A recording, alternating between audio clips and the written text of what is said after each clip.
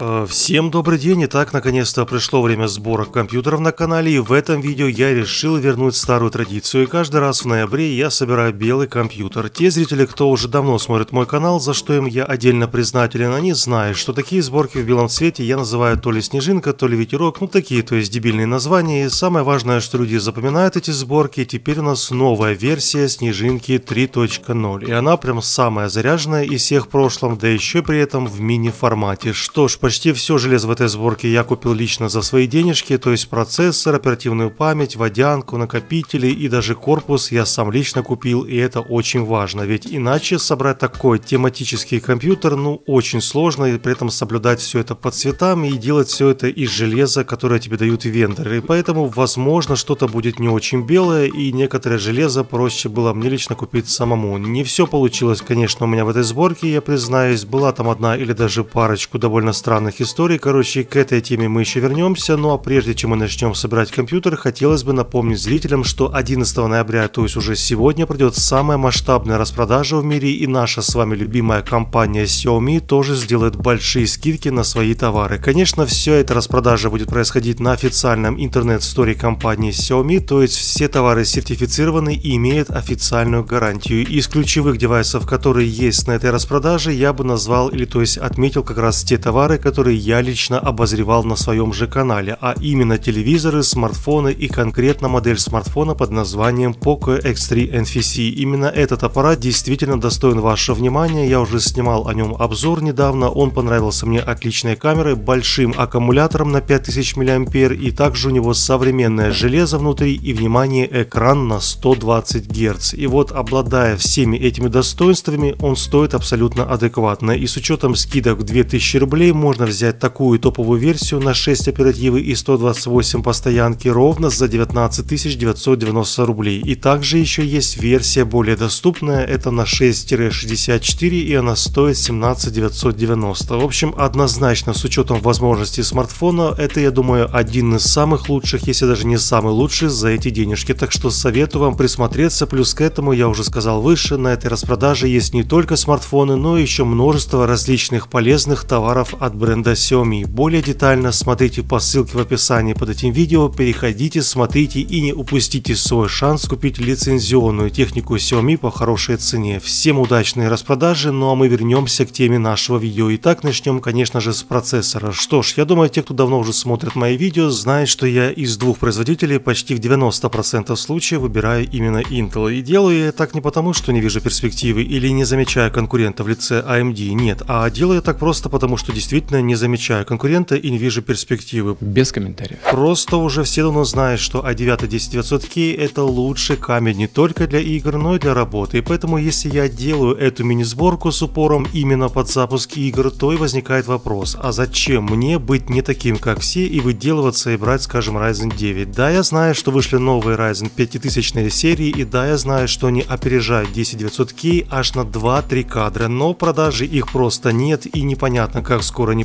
появится, и даже если появится, то и цена там будет явно не 42 тысячи, как за 10 900 K, а я думаю порядка 60к или даже больше. Короче, я не стал ничего выдумывать и взял просто 10 900 K в исполнении Marvel, и вот это довольно странная штука, но и к нему же и понятное дело нужна была именно мини-плата на Z490 чипсете. Что ж, такую плату будет честен мне предоставили для сборки компании Asus, точнее я обратился к менеджерам с предложением снять контент, и вот товарищи перед вами, наверное, лучшее, действительно самое лучшее из мини-плат на чипсете Z490. В этой материнке есть все то, что нужно абсолютно любому человеку, и комплектация шикарная, и поддержка Wi-Fi 6, и силовая часть элементов умеет поднимать 10900K до 5200, буквально просто подняв множители. То есть в этой материнке все по высшему уровню, и цена тоже на высоком уровне, порядка 27 тысяч рублей. Но самое интересное для меня это строение звуковой платы, которая вынесена отдельно, и на этом микроплате плате как раз и расположены, внимание, два SSD слота под накопители, то есть конструктивная часть явно необычная, каждая деталь здесь продумана, и я даже нашел на самом радиаторе спрятанный маленький ветродувчик. Вот такие дела, друзья. Ну и плюс к этой плате мы еще, конечно, вернемся, и хотелось бы, конечно, сейчас обсудить это именно охлаждение процессора и сам корпус. Итак, здесь я сразу допустил свою первую ошибку и послушал мнение людей в своем сообществе и также в инсте, что типа фу, ты решил поставить в эту сборку какой-то там дипкул. В эту крутую сборку ты поставишь китайскую водянку. И что-то я, знаете, друзья, замешкался, вот как-то занервничал и не стал ставить дипкул, просто пошел и купил вот действительно водянку, прямо вот за 12 тысяч от все той же компании NZXT. И это была моя первая и самая важная ошибка. Ошибка просто слушать людей, которые сидят вот в интернете, вот смотрят на это фото, но не участвуют в самой сборке, и поэтому это разные вещи. Итак, в чем же моя ошибка? Ну, во-первых, цена на эту воду в целом необычная, она стоит, еще раз напомню, 12 тысяч. Второе, она не белая по цвету самого корпуса. И третье, у нее очень большая помпа или шайба, и она просто закрывает первый слот оперативной памяти. Просто у нее такая вот странная конструкция, что из нее торчат всякие там провода из этой шайбы, и это очень мешает, если делаешь сборку в мини-формате. В общем, я и так крутил, и сяк, то есть это очень неудобная конструкция. В общем, я был вынужден просто вернуть обратно эту водянку. Ну, не смотрится она, ну, никак в этой сборке, да и подключение у нее тоже довольно сложное. Всякие там USB, SATA провода. Ну, короче, я просто взял Deepcool Капитан 240. Я уже имел дело давно с этой ревизией Капитана. Я помню, мне очень понравилась она в прошлом. И да, я знаю, что найдутся те, кто скажут, вот ты какой-то конченый взял топовую воду от бренда NZXT и заменил на какую-то там, не знаю, китайскую Deepcool. Ну, окей, давайте вот э, все-таки я оспорю свое решение. Я хотел бы сказать, что из всех китайских компаний, которые я лично знаю и которыми я лично пользовался в своих сборках, Deepcool это единственная фирма, которая реально делает очень достойные продукты на уровне именитых брендов. Это не тот Deepcool, что был даже пару лет назад, наоборот, это очень интересные корпуса, водянки хорошие, кулера тоже довольно добротные, и то, что они делают, это местами даже лучше, чем, не знаю, там у Cooler Master, Thermaltake и прочих, при том, что они стоят заметно меньше. А еще у них работает одна девушка-менеджер, и вот она на первой волне вируса, ну то есть вы поняли, о каком вирусе идет речь, она отправила ящик перчаток и масок в Украину моим родственникам. И так сделали только именно эта компания и только вот э, они. Поэтому так что я очень э, уважаю саму компанию Deepcool и желаю им только развития. И через пару лет они точно станут топ-производителем, и я в этом почему-то действительно уверен. В общем, друзья, одну водянку неудачную я заменил на вторую. Сам корпус, как вы уже заметили, он тоже белый сверху и черный внутри. Меня это полностью устраивает, но теперь появилась еще одна внезапная проблема. Дело в том, что я купил себе корпус раньше всех комплектующих и не знал, честно, какая видеокарта ко мне приедет от вендора, которую я поставлю в этот э, компьютер. Точнее, я знал, что это будет новая RTX 3070, но не знал, насколько она будет большой и влезет ли вообще в этот э, корпус. Просто в моем представлении, если карта является среднебюджетной, то значит она будет иметь упрощенную схему охлаждения, скорее всего не топовую, и я почему-то был уверен, что это будет какая-нибудь там, не знаю, двухслотовая небольшая видяха. Но ко мне приехала эта самая Strix RTX 3070 от компании Asus, и я понял, что, видимо, сборка пойдет у меня опять не по плану. И знаете, у меня в последнее время вообще, я заметил, частенько бывают такие проблемы с размерами корпуса, блока питания и видеокарты и так далее. И это все случается потому, что сборка компьютера меньше, чем стандарты микро ITX. Это поистине веселое занятие в кавычках, ибо там все железки ты подбираешь не под твой бюджет в кармане, а внимание под размер своего корпуса. Под корпус ты подбираешь материнку, под корпус ты подбираешь видеокарту, охлаждение и даже блок питания. Поэтому тут можно абсолютно спокойно на чем-то да и ошибиться. И поэтому все нужно вымерять прям, ну я не знаю, с линейкой. В общем, видеокарта RTX 3070, как вы уже поняли, она явно не влезла не то что в этот мини-корпус, нет, она просто сама размером с этот корпус. И ее я решил просто э,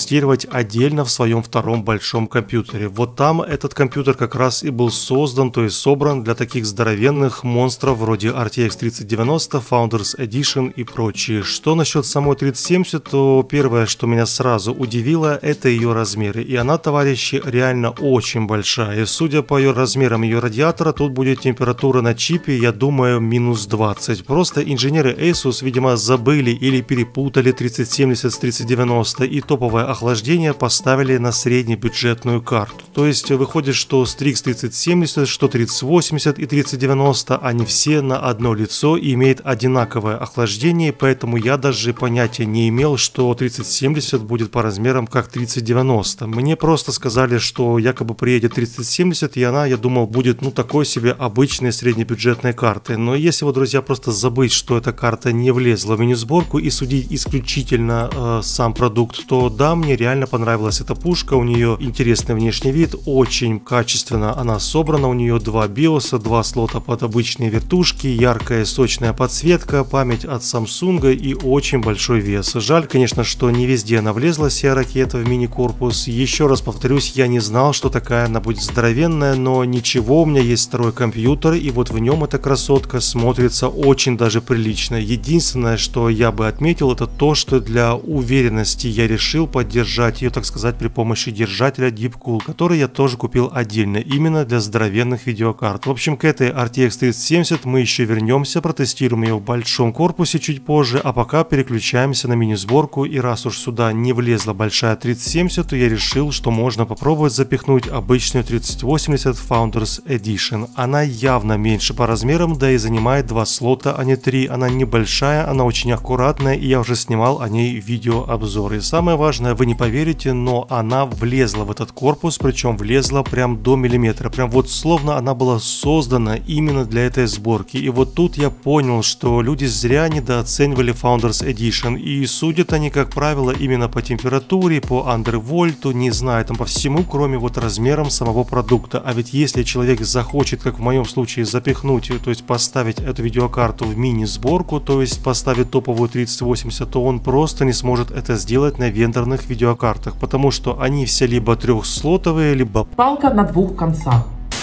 Что ж, наконец-то эта страдальческая сборка Снежинка 3.0 обрела свой конченый, то есть, кон, э, то есть законченный вид. И первое, что я бы отметил, это очень тихую работу всей машины. Я специально замерил, э, сколько шума издает вся машина, и если в комнате без включенного компьютера был примерно 31 дБ, то с включением компьютера я видел 33-34. То есть это прям феноменально тихая машина, и это важно, потому что он будет стоять у меня прямо на рабочем столе на расстоянии полуметра от меня. Вообще мне очень нравится, как все вышло визуально. Да, конечно, видеокарта не вписалась по цвету всей сборки, она черная, точнее серая, но то есть э, со временем я думаю заменить карту на белую 3080 или 3070 и в будущем это будет прям все замечательно визуально. Э, а, в общем, короче, вы поняли. Ну и так э, давайте же начнем тестировать. Первым делом запустим ту самую большую 3070 в большом корпусе с i9 10900F и тестировать я буду только в 2K или QHD на самых запретных предельных настройках. Первым делом я закинул новую Watch Dogs и тут я выставил все те же ультра настройки и только режим DLSS я поставил на производительность. В таком случае в среднем я бы назвал порядка 50, возможно 55 кадров с просадками до 45 или поднятиями до 60. То есть с лучами, с трассировкой можно нормально перемещаться. Да, это не 60 FPS, но и сама Watch Dogs тоже далека от идеальной оптимизации. Она такая себе довольно всратая. Возможно, патчами поправят потом ситуацию, чтобы было везде стабильный 60, но эти стабильные 60 я увидел пока что только на карте 3080 Founders Edition. То есть э, там все те же были ультра настройки, хотя DLSS я поднял до режима баланс. Все равно в среднем так мы видим от 60 до 80 FPS. Единственное то, о чем я и рассказывал, это именно вот как раз температуры. У этих видеокарт они очень разные. Причем на Strix 3070 там вообще нет никакой температуры. Видеокарта имеет настолько избыточное охлаждение, что 57 градусов это просто смешное значение. То есть это прям слишком низкие температуры и против 3080, у которой там поднимается 83-84, это абсолютно ни о чем. И тут обязательно кто-то скажет, что вот смотри, твоя Founders Edition превратилась в печку в этом мини-корпусе. Нет, товарищи, абсолютно не превратилась она в печку, потому что до этого она была у меня в большом корпусе, и там она поднималась до 82-83. То есть вот в данном случае в самом большом Be Quiet Dark Rock, она тоже держала ровно такую же примерно температуру. Да, выросла она на 1-2, возможно, градуса, но это просто, извините меня, абсолютно ни о чем. Я понимаю, что 83-84 на фоне 58 на карте 37 кажутся, ну, сверхвысокими, но давайте будем объективными и честными, не станем забывать, что 3070 явно больше по размерам и насколько она больше, чем маленькая 3080, которая помещается в мини-корпус. Причем, заметьте, эти 83-84 это абсолютно нормальная рабочая температура для топовой карты. Вон, если помните, AMD выпустила там однажды RX 5700 XT, и там даже 105 градусов э, считалось нормальной рабочей температурой. Хотя это, конечно, абсолютный бред. Но окей, ладно, далее едем, и следом давайте запустим еще одну очень требовательную, это Red Dead Redemption 2 на ультра 2К. И тут 3070 также достойно себя показала и держит в среднем от 50 до 60 FPS. Причем я заехал в самую требовательную локацию ночную, ведь ремонтяж в одном из видео сказал, что я тестирую в довольно простых локациях и пояснил, что именно ночью самая высокая сложность на локации для видеокарты. Поэтому я забрел самую задницу мира и видим, что в среднем, да, здесь все нормально, в этом плане абсолютно все стабильно. Если же просто перемещаться днем, то там будет 60, возможно 70 FPS и в то же время в 3080, э, то есть 3080 я не снял, я видимо забыл, в общем неважно какая разница, если 3070 почти везде выдает 60, то 3080 точно нарисует там не знаю 60, 70, 80 и давайте лучше просто перейдем в метро Exodus, тут опять-таки в 2К на ультра с лучами физика 3070 в среднем рисует 60-70 кадров, а вот 3080 уже улетает за сотку. Да, разница между количеством кадров явно заметна, но и здесь не стоит забывать, что сколько стоит 3070 и сколько стоит 3080, и разница тут порядка 30 тысяч. Ну ладно, в конце давайте запустим Control и будем уже заканчивать. Тут, понятное дело, я выставил все на ультра 2К и 3070 держит от 60 и больше FPS. 3080, я думаю, тоже здесь нет смысла особо показывать, там та же самая история, что и в Red Dead Redemption, ну там в среднем 70, 80, 90 кадров. Мне просто элементарно лень снимать очевидные вещи, ведь я уже снимал и 3080 дважды, поэтому смотрите мои видео на канале, там все детально я рассказывал, ну а я на этом уже, наверное, буду заканчивать. В целом сборка я полностью доволен, температуры в мини-корпусе нормальные, не катастрофические, о котором мне рассказывали, нет, все в порядке в этом плане, теперь это будет мой основной рабочий компьютер. Правда, я еще не знаю, как я буду на нем ставить э, большие видеокарты вроде Strix 3070, хотя по идее уже были все эти крутые видяхи и остались только 3060, там всякие 3050 и они будут ну явно, я думаю, меньше по размерам и не такие уж большие. Вот такая как бы история этой снежинки. Все, кому интересно железо этой сборки, смотрите ссылки в описании под этим видео, там же я оставлю ссылки на распродажу техники от Xiaomi. На этом я заканчиваю, друзья. Увидимся уже скоро. Всем еще раз удачи и до встречи на канале.